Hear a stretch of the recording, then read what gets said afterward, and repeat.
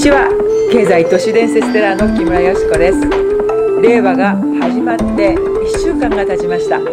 皆様新しい言語を耳に、えー、聞く機会が当たり前のようになってきているかと思います。また新天皇成人親王がですね、えー、新しい天皇に即位されましてこれから日本を象徴天皇として、え、引っ張っていこうというわけですね。でこの成人親王なんですけれども1960年生まれの方ですので、まあ、若い天皇陛下ですよね。またあのこの成人親王が天皇陛下に即位されるに伴いましてですね、まあ、一部のマスメディアはですねさまざ、まな皇室ゴシップなどを流したりしておりますので、まあ、こんな話もですね織り込みながら後半の木村佳子の経済都市伝説令和のダヴィンチ行動時計をお話を進めてまいりたいと思います。さてですね、えー、令和はなかなかですねあの耳に馴染みにくかったっていう話をですね前半でさせていただきました。と言いますのはあの前の時代の平成は4字でしたしその前の昭和は漢字は2文字でしたけれども、えー、ひらがなで表しますと4文字でした。その前の昭和の前の大正もですね、えー、5文字でしたよね。そしてその前がようやく3文字で表現される言語だったという話をしましたよね。これが明治でした。この明治はですね現在さまざま国際紛争が起こったり日本を取り巻く環境のシードすなわち種になっていることがさまざま起こっている時代ですよね。なので少し歴史の勉強をしようと思いまして明治のことを調べてみました。令和のダヴィンチコード読み解きに役に立つように思います。まずですねこの令和3文字の令和なんですけれどもあの意味合いとしましては霊場の霊霊婦人の霊でもありますし、まあ、元号の持つもう一つの面としましては律令制度ですとか号令ですとかの例でもありますので、まあ、そんなこわもてのイメージもそこはかとなく感じる方がいるかもしれませんけれども、まあ、どんな時代になっていくのかなということを今からかつての来た道を振り返りながらあ予想していきたいと思うわけです。で先ほどその皇室ゴシップという話をしましたけれども、まあ、新しい天皇陛下が即位されますと、まあ、不謹慎にもですねその次、まあ、どなたになるのかっていうことを知りたがるのが一般の口差がない、えー、マスメディアの関心事またそれを読みたがる読者の、えー、思い出もあると思いますね。で、えー、など、あの今の天皇陛下様新しい天皇陛下様にはえ愛子さまという方がいらっしゃるわけですけども女性天皇であってもいいじゃないかという意見が出てきたりですね。またいやいやあの天皇陛下は秋篠宮さまがあのその後の、えー、第一後継者である。それに違いないしまたそうなるとお子様でいらっしゃいますねあのお若いあの方もいらっしゃるのでその流れを踏襲すべきではないかという意見があったりですね。また新しい天皇陛下が誕生する前後にはですね秋篠宮家のお眞子さま佳子さまに関わるですねさまざまな話が、まあ、ゴシップネタとして言われてしまったりとかですね女性宮家がああってもいいじゃないかっていう説が出てきたりですとかですねさまざまなあ下ネタゴシップネタなどがあ下世話なあメディアでは取り出されてる次第なんですね。ですけれども国民の気持ちとしましてはこれからオリンピックを迎えるわけですしなんか新しい天皇陛下が誕生したことによってですね国威発揚がされているような気がしてなりませんね。でやたら国威発揚されてしまうとですねそこはなんかこう無理やりさせてられてるのかなっていう疑いもですね抱いてしまうそんなあ方もいらっしゃるかもしれませんね。今まではそのナショナリティを明らかにすることさえですねはばかれた時代があったことを思いますとですねどうも日本頑張れという思いに傾きがちな何かと傾きがちなイベントが多いのでこれは誰かそういうことで得をする人がいるのではないかということを考えてみる視点もあってもいいのではないかなと思いますね。でかつてこの国威発揚を利用して日本はどんな間違いを犯してきたのかなということを冷静に考える方もいらっしゃるかと思います。でそのシード今現在国際紛争ですか国内紛争ですとか日本を取り巻くさまざまな、えー、国際的な問題国内的な問題は明治時代にたくさんの種まきが行われているということを歴史を振り返ってみるとお感じになろうかと思いますので明治時代を振り返っておきたいと思います。令和明治同じ3つの韻を踏んでるあの時代としてもこの明治時代を学んでおくとヒントと得られるヒントとできることがたくさんあるのではないかと思いますね。まず明治の前でしたけれども慶応時代江戸時代でしたよね。でここに、えー、黒船などがやってきてですね日本は鎖国政策をとってたんですけれども、えー、まあ言ってみれば国を開く選択を取るわけですよね。でこの開国をしました後は各国に派遣された方たちが世界の産業の状態を見てですねびっくり仰天して日本に帰ってきて日本も他国に負けない国にならなければいけないという政策が取られたわけですね。すなわち産業革命文明開化これが明治時代の初頭に盛んに、えー、日本に、えー、施策されたことで、えー、ございました、えー、それからですね明治時代が始まってから遷都も行われましたよね。天皇陛下が京都から東京にお出ましになって東京江戸を東京としたわけですね。それと、えー、将軍が治めていた政治経済を今度天皇陛下をヒエラルキーのトップとして迎えるそういう国になっていきました。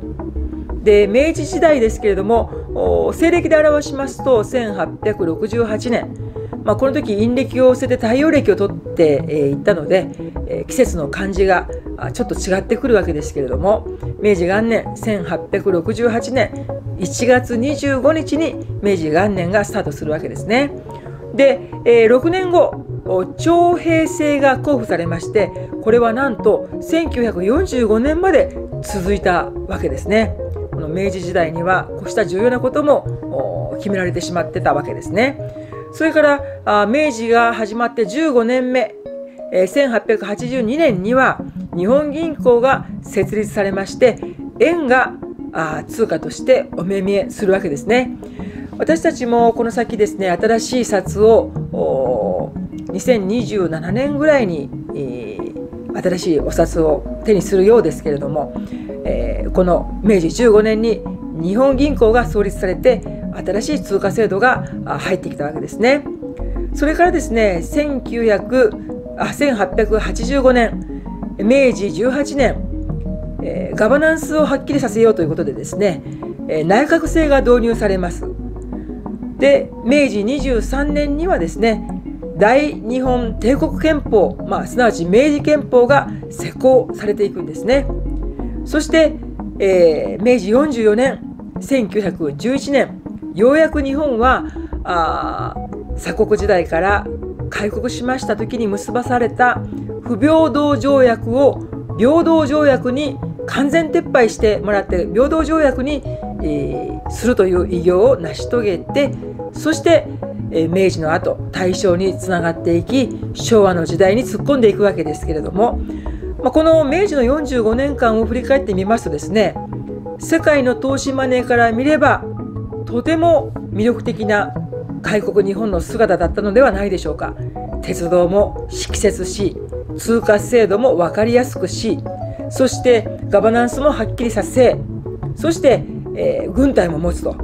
いうことですのでこれはあの他国から見るとですね日本は本当に信頼できる仲間に、まあ、仲間というと言い過ぎですよね、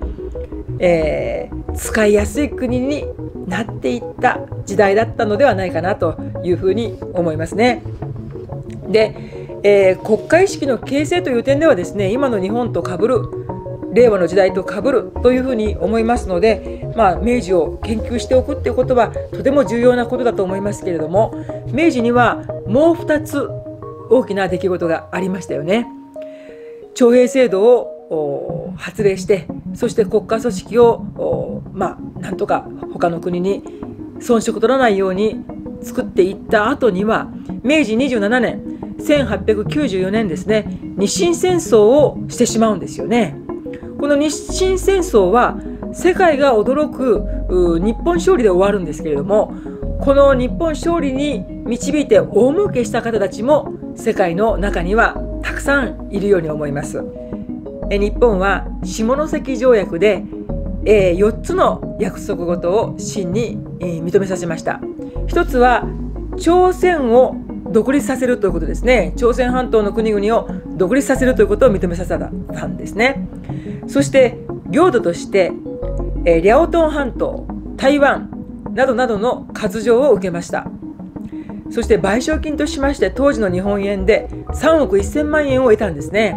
この資金が後々の日本に効いてくるわけですよね。そして、えー、中国の重慶などの4個を開港させるに至りました。まあ、これでですね儲かったのは日本だけではなかったはずですね。どこが儲かったのでしょうか？港を開港させて貿易したかった国々はとても